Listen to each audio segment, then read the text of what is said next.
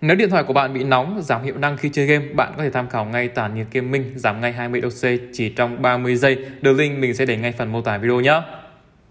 Chào mừng các bạn đã quay trở lại với FA Channel, lại là mình đây. Như bạn đã thấy thì với kênh FA Channel của mình thì mình làm rất là nhiều các chủ đề khác nhau và rất là nhiều các dòng điện thoại khác nhau. Từ điện thoại giá rẻ cũng có, điện thoại tầm cao cũng có và những dòng điện thoại cao cấp mình cũng làm luôn. Và đặc biệt là với những à, top điện thoại thì được anh em quan tâm khá là nhiều.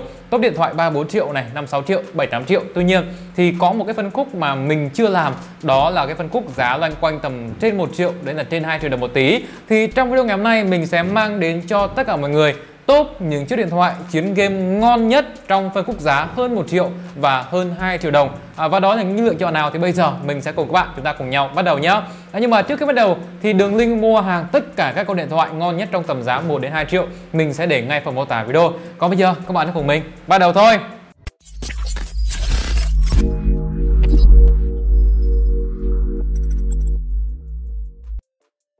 Rồi, à, phải nói trước cho bạn là trong tầm giá 1 đến hơn 2 triệu thì chúng ta không thể nào đòi hỏi được những con điện thoại hàng mới mà chúng ta bắt buộc phải mua những dòng điện thoại flagship bằng cũ để ưu tiên về phần cấu hình và ưu tiên về phần trải nghiệm game. Chứ còn nếu bây giờ bạn bắt mình phải đưa ra list những con điện thoại hàng mới à, chiến game ngon nhất trong tầm giá 1 đến 2 hơn 2 triệu thì gần như mình sẽ không có bất kỳ một cái lựa chọn nào hay ho cả và có được một cái mức setting là cao thì cái lựa chọn đầu tiên mình muốn đưa đến cho tất cả mọi người thì đây là một con flagship chỉ có mức giá loanh quanh tầm 1 triệu 6 mà thôi. Và không ai hết, đó chính là con Sharp Aquos SHV39 với con Sharp SHV39 này thì mình cũng đã có làm một cái video trên tay và đánh giá cho bạn về chiếc máy này rồi. Và phải nói đây là một trong những con máy nó vô địch về phần cấu hình trong tầm giá. Khi với chiếc Sharp Aquos R SHV39 này, mức giá của nó chỉ có 1 triệu 6 mà thôi, nhưng những gì chúng ta nhận được rất là nhiều từ một chiếc máy có khả năng chống nước này à, từ một chiếc máy chúng ta sẽ được trang bị cho mình một cái màn hình với kích thước đó chính là 5,3 inch. Và chúng ta sẽ có được cho mình cái độ phân giải là 2K cùng với đó các bạn còn có thêm tấm nền với cái tần số quét lên đến là 120 Hz thì gần như đây là chiếc điện thoại có tần số quét 120 Hz với mức giá có thể gọi là rẻ nhất thế giới luôn.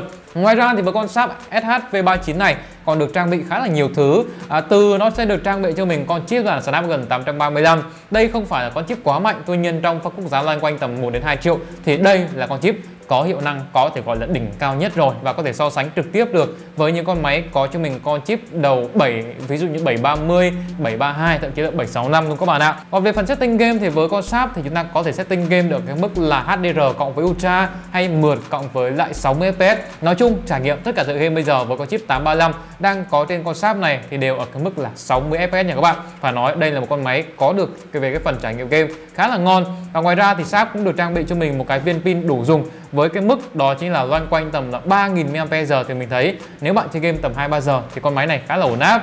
À, rồi và như vậy thì mình đã nói về con Sharp SHV 39 trong phân khúc giá loanh quanh tầm 1,6 triệu rồi Bây giờ thì mình sẽ đến với một cái lựa chọn trong phân khúc giá cao hơn một tí là con Sony Xperia XZ1 Sony Xperia XZ1 thì đã làm mưa làm gió khi trước đây nó được giảm giá xuống mức giá là loanh quanh hơn 2 triệu. Tuy nhiên bây giờ có thể mua được với mức giá chỉ loanh quanh tầm 1,8 triệu mà thôi Và thậm chí là có thể vào đợt 11 tháng 11 này mức giá của nó còn giảm sâu hơn thế. Với con Sony Xperia XZ1 chúng ta chắc chắn không cần phải à, nhắc lại nữa rồi. Tại vì con máy này thì à, nó sẽ có một thiết kế đẹp hoàn thiện cao cấp từ chất liệu là nhôm và nó sẽ có khả năng kháng nước IP68 nó xịn sò hơn khá là nhiều so với con Sharp. Nó sẽ có màn hình đó chính là 5,2 inch. Độ phân giải của nó là Full HD Plus. Thì mình thấy là cái trải nghiệm về màn hình của nó nó chắc chắn sẽ ngon hơn so với chiếc điện thoại đến từ nhà Sharp. Sharp chỉ được cái tần số quét cao và cái độ phân giải cao thôi chứ chất lượng hiển thị thực tế của nó nó thua kém hơn so với nhà Sony rất là nhiều.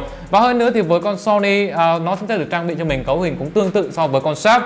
Khi nó sẽ được trang bị cho mình con chip đó chính là Snapdragon 835 các bạn sẽ có 4GB RAM và 64GB bên trong có khả năng hỗ trợ mở rộng bằng thẻ nhớ. Và với con chip là 835 như mình đã nói rồi là cái việc trải nghiệm những tựa game như kiểu là Liên Quân, PUBG hay là Call of Duty thì thì chúng ta có thể thoải mái chơi được ở cái mức setting. Đó chính là 60 fps nhé nhưng mà con Sony Xperia XZ1 này nó là có một cái điểm yếu là pin của nó không quá trâu pin của nó chỉ có 2700 mAh mà thôi. Và nếu bạn chơi game liên tục thì con máy này có thể chơi game tốt được trong vòng là hơn 2 giờ các bạn ạ. Nói chung thì cái dung lượng pin của nó khá là yếu và nếu bạn nào không cần một chiếc máy có dung lượng pin trâu cho hát lâu dài thì ok chọn con máy này cũng khá là hợp lý rồi.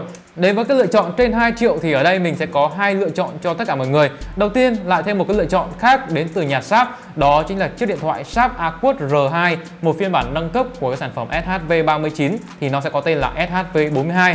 Chiếc điện thoại này hiện tại nó có mức giá loanh quanh tầm 2,5 triệu đồng. Tuy nhiên những cái thông số và những gì nó mang lại thì phải nói quá ấn tượng trong tầm giá. Với mức giá 2,5 triệu đồng các bạn bỏ ra, các bạn sẽ có được cho mình một chiếc máy có à, cái kích thước hiển thị là 6 inch. Các bạn sẽ có độ phân giải là 2K rồi chúng ta sẽ còn có hỗ trợ HDR10 cùng với tần số quét màn hình lên đến là 120 Hz.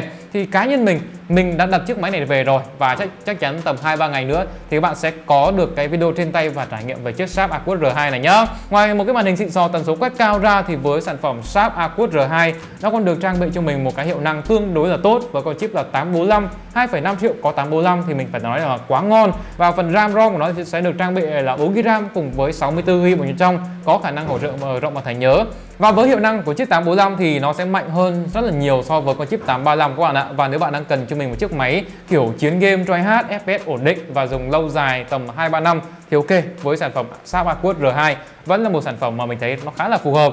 À, rồi và dung lượng pin của nó sẽ là 3130 mAh thì rất thoải mái cho chúng ta có thể dùng chơi game liên tục được tầm là hơn 3 giờ thì mình thấy đây cũng là một cái điểm mạnh của cái sản phẩm Sharp Aquos R2 và nếu bạn đang cần cho mình một chiếc điện thoại trong phân khúc giá loanh quanh tầm 2,5 triệu đồng có cho mình con chip là Snap 845 cùng với 120 Hz thì đây gần như cái lựa chọn không thể nào có một cái sản phẩm nào có một cái mức giá rẻ như là cái sản phẩm Sharp R2 mình đang có ở đây.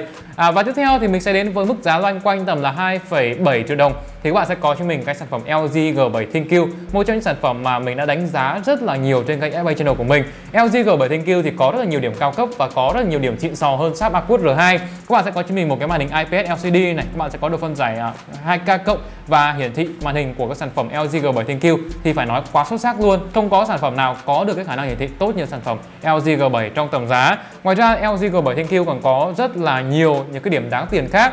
Ví dụ như là LG G7 sẽ được trang bị cho mình con chip 45 hiệu năng của nó tương đối tốt và nếu bạn mua về thì bạn nên gỡ cái phần mềm Game Tuner đi để có được trải nghiệm game là tốt nhất. Các bạn sẽ có cho mình 4GB RAM và 64GB bên trong. À, hiệu năng chiến game của nó thì với con chip 845 mình cũng đã đánh giá rất là nhiều ở trên kênh FA Channel của mình rồi. Thì bạn có thể tìm lại từ khóa là chiến game LG G7 FA Channel để có thể xem những video đó nhé. Và ngoài ra thì LG G7 còn có một cái hệ thống loa rất là ấn tượng về khả năng giải trí của nó thì phải nói là better là nhè luôn. Hơn nữa thì sẽ được trang bị cho mình cái DAC để hỗ trợ khi mà chúng ta nghe bằng tai nghe thì sẽ có được một cái chất lượng âm thanh tốt hơn. Ngoài ra thì LG G7 sẽ có camera rất là xịn sò trong tầm giá, hỗ trợ khả năng quay video 4K và chất lượng chụp ảnh quay video của nó. Thì mình cũng đánh giá là khá là tốt. Nếu bạn đang cần cho mình một chiếc máy để quay vlog và một chiếc máy để dùng với những cái tác vụ là chụp ảnh thì mình thấy đây là một cái sản phẩm mà rất đáng để chúng ta lựa chọn. Và đến với một cái điểm khác của LG G7 đó chính là về phần pin đi. Thì mình thấy LG G7 thì sẽ có được cho mình dung lượng pin là tầm 3000 mAh. 3000 mAh nhưng gánh quá nhiều thứ. Từ màn hình độ phân giải 2K này rồi là con chip 845 này thì mình thấy là với sản phẩm LG G7 thời lượng pin của nó không quá trâu. Nếu bạn chơi game liên tục thì nó sẽ rơi vào tầm là 2,5 cho đến 3 giờ. Còn nếu bạn dùng với những tác vụ căn bản thì một ngày là quá ok luôn. Rồi và như vậy trong video này thì mình đã mang đến cho tất cả mọi người top những chiếc smartphone ngon nhất trong phân khúc giá loanh quanh tầm 1 đến 2 triệu đồng có cấu hình tốt, màn hình tần số quét cao, hiệu năng ngon và còn rất là nhiều thứ khác để hỗ trợ cho khả năng gaming.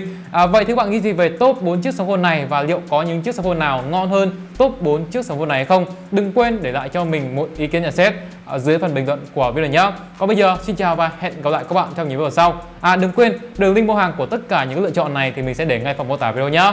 Bye bye. Nhớ để lại một like và subscribe.